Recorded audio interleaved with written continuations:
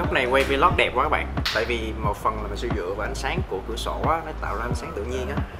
Thì à, nó khiến mọi thứ này không gian ánh sáng sẽ ok hơn rất là nhiều. Với any filter nữa là mọi thứ hoàn hảo rồi.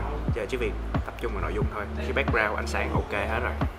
À, hôm trước các bạn mà coi cái vlog của mình quay bằng con 16 1.4 này á 16 của Fujifilm á nó bị outnet nhiều quá là tại vì nó hiển nhiên phải vậy thôi các bạn thứ nhất á, là nó là một con lens mình đang luôn mở khẩu 1.4 cái thứ hai nữa là mình hay quay trong điều kiện thiếu sáng thì nó phải liên tục hình tinh lấy nét. Và thứ ba là do cái setting ban đầu của mình đó là chọn là uh, theo single pose và mình đang để lấy điểm ở giữa. Chứ nếu mà mình chuyển sang container AF và cái, cái không gian lấy là wide đúng không ta? Không gian lấy của nó là gì quên mất rồi. Quên mất cái tên gọi của cái setting lấy nét rồi.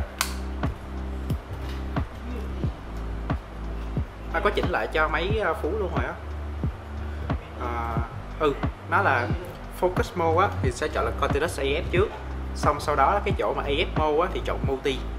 Area thì các bạn sẽ chọn được một vùng cụ thể thì nó sẽ an toàn hơn cho những mục đích mà bạn muốn khóa ở một chỗ. Để hạn chế mà nó cứ nhảy ra trước sau là nhảy những chỗ mà bất thường á. Thì hôm bữa là mình đang để nó ở giữa cho nên là ý với nghĩa đứng hai bên thì nó lấy nét ở giữa là đúng rồi. Ý nghĩa bị ao nét phải rồi mà không 1.4 thì nó xóa không luôn. À, nó xóa chủ thể luôn. Còn đúng á thì set cái này sang là uh, multi á để nó ưu tiên những cái nội dung vật trước cái camera hơn và nó lấy nét. Nó nó sẽ tìm lấy nét trong tại khung hình. Các bạn thấy shot nãy giờ quay đúng không? Không bị nhảy nét không bị ao nét gì hết. Và ví dụ cần review uh, showcase đồ vật á thì mình việc dơ lên nè. Nó sẽ focus liền đồ vật luôn. Rất là nhanh đúng không? Cái này nó không phải là do ờ, uh, Fujifilm lấy nét cùi mà nó nằm ở cái việc mà setting lấy nét thôi. Mình thấy rất là nhiều anh em trong hội hay chê là uh, Fuji lấy nét không bằng Sony. Với kinh nghiệm một người sử dụng Sony A73 uh, ờ, gần như là từ lúc nó mới ra tới bây giờ thì mình thấy cái việc mà AF của hai con nó không có khác nhau gì lắm các bạn. Nếu mà khác thì chắc là khác khi việc mà sử dụng lên hãng với là lên bên thứ ba thôi. Tại vì Fujifilm buồn cười lắm các bạn một số len á ví dụ như len hãng á nó lại đời đầu á nó nét cùi hơn bên thứ ba nữa cơ. Hoặc là tùy theo cái dòng đời của Fujifilm ví dụ như cái con Viewdrop 33 con này nè nếu các bạn gắn cho những con mà giá rẻ dưới 20 triệu á mười mấy triệu kiểu á thì nó sẽ rất hay bị hình tinh hay là lấy nét chậm. Nhất là gắn trên con XT1, XT10, XT20 nhất là những con mà đời đầu của Fujifilm á, body á thì nó AF kém lắm các bạn phải nâng cấp body từ XS20 trở lên. Có nghĩa là những cảm biến X-Trend 4 trở đi á thì khả năng lấy nét của Fujifilm mới đáng kể. Và các bạn còn lại phải chỉnh lại cái setting lấy nét ở trong máy nữa. Và mình sẽ dành một clip um, riêng để đi sâu vào từng setting của Fujifilm rõ hơn. Còn bây giờ thì mình vẫn đang ở cái kiểu mà trial and error thôi. Thử từng cái thông số chạy con máy những cái setting khác nhau đó, rồi mới đưa ra những setting thông số hay nhất. Chứ mình nghe việc so sánh giữa ờ, uh, Fujifilm với Sony nhiều rồi. Bảo là việc mà Fujifilm AF kém làm sao đó. Tracking không bằng á nhưng mà hầu hết các shop test bữa giờ luôn. À, có lúc là mình quay có lúc là nghĩa quay có lúc là phú quay á thì AF chủ thể AF mà kiểu quay liên tục không bị gì hết. Ủa sao vậy? Kêu cái này anh em mới mua? Chứ không cái đồ cũ rồi đồ mới mua em gắn trên Kibo rồi. Thì coi clip chứ. Trời ơi cầm cầm lên chơi như thật luôn. Cái cái mới mua là cái ờ, nhưng mà cái này còn đỡ. Thà là cái đó là ủa cái này là của hãng hả? Cái của hãng. Của hãng đâu xài đâu. À, quê quá à. Cái clip trước cái clip trước anh làm review cái quick release nó lại là thôi không sao sao làm clip khác để đính chính. Giống như kiểu mình mà xài Sony A73 với những con lens Tamron á mấy con 2.8 á thì AF nó thực sự không ngon bằng so với lens hãng hoặc là những con lens trên 15 triệu. Còn ờ, đánh giá Fujifilm á kể cả là hôm trước mình có một cái clip mà review con đèn Yongnuo trong cái ờ, phòng khách sạn của Đắk Lắk á, Buôn Ma Thuột á thì là các bạn ờ, sẽ thấy là nó bị nhảy nét bị ảo nét ra quá trời luôn là tại vì lúc đó mình đang để cái chế độ lấy nét là single single á cái vùng của nó mà đang lại kéo cái mình kẹt chúng cái màn hình sao nó cảm ứng á nó dính vào cái một góc của màn hình luôn. Thành ra là mình ở giữa chủ thể giữa khung hình luôn mà nó cứ ao nét hết hoài luôn. Cái đó là do skill issue thôi chứ không phải là do máy. Sau khi quen rồi uh, quen với cảm ứng lấy nét của nó quen với những setting á, thì EF ngon đi chen như Suri thôi cần thì nhanh nè.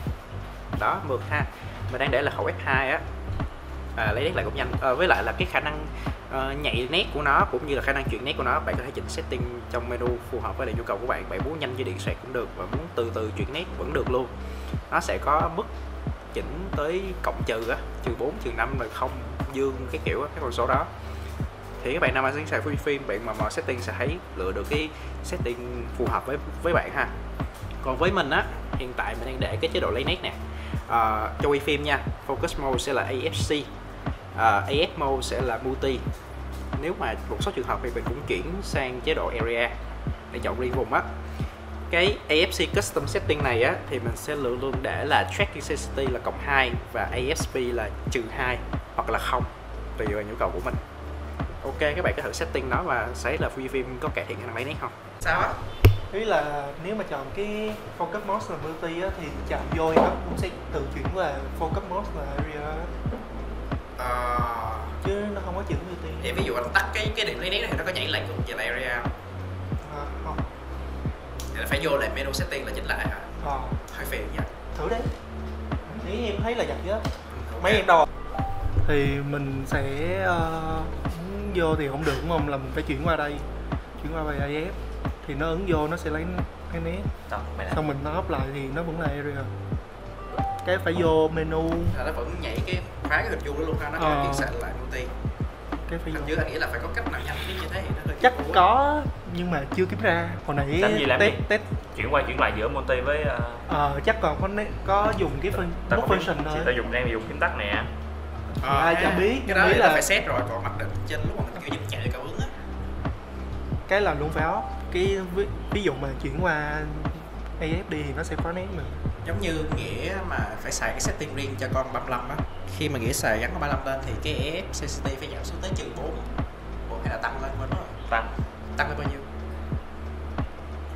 Để coi. Đang để uh, cộng một triệu một. Ok cộng một trừ một. Nói chung tùy tùy. Em thích chuyển nét từ từ. Thật ra cái multi này tức là sao ta? Muốn bắt nhanh nhưng mà chuyển nét từ từ. Cho nên là em giảm cái AS speed lại giảm trừ một. Ừ. còn cái uh, sensitivity cộng em ghi cộng một thôi để cộng một thôi. Hiểu. Còn anh là cộng 2 trừ 2 và là cộng 2 không. Thường là anh là cộng 2 không nè còn anh set cho mấy phú là cộng 2 trừ 2 để Nên bị mấy- nên là mấy cú mà review á, của em nó chuyển nét rất là chậm. Thì ai tưởng này cũng vậy tao giảm về trừ trừ hai trừ ba. Thì cứ phải mò mò với những con len mình quen á mới, mới biết được cái setting của nó à, nãy mình có review ờ, đồ chơi á thì cái cái quick list của hãng á mà mình nói nhầm là cái ờ, cái đồ mà nghĩa mới mua. Thực ra là nghĩa vứt cái này rồi. Nghĩa chuyển sang xài đồ của Smartrick luôn. Trượt ra cho nó nhanh ha. Nói gì về setting cơ? Nãy có nói gì cơ? Ý là nếu mà dùng multi á thì nên dùng thêm lấy nét MF cộng MF á thì ví dụ mà multi nó sẽ lấy phía trước nhưng mà mình muốn lấy phía sau thì mình vặn MF vô. Ủa là bằng tay được luôn hả? được. Được. Là bằng trên len luôn, không cần phải chuyển gì hết. Đúng. Là vừa chọc chọc vừa vặn lên được. Không cái đó là của R còn nếu dùng multi thì mày ờ, vặn trên len thôi. Nhưng mà nếu mà mày dùng thêm cái ờ, MF acid là pick á thì mình sẽ thấy được cái cái vài Cái vùng đỏ luôn, cái vùng này ừ. thì nó cũng dễ. Của em màu đen màu xanh. Này đeo màu vàng. Anh đeo đeo màu đỏ. Sai vậy? biết sao không? Tại vì tao bị một màu màu đỏ với màu xanh lá Ê, khoan khoan khoan tao đang nhấn mạnh là mỗi đứa một màu tự nhiên mày kể chuyện mày một màu gì vậy? Nên anh mấy cái cái vấn đề nhưng mà tao có kể chuyện gì mày một màu nhưng mà vấn đề là cái mấy cây này tao không có thấy. đây, đây, đây chủ đề là mỗi người một màu. Thôi thôi cho Phú Mỹ thương hại đi nè. Buồn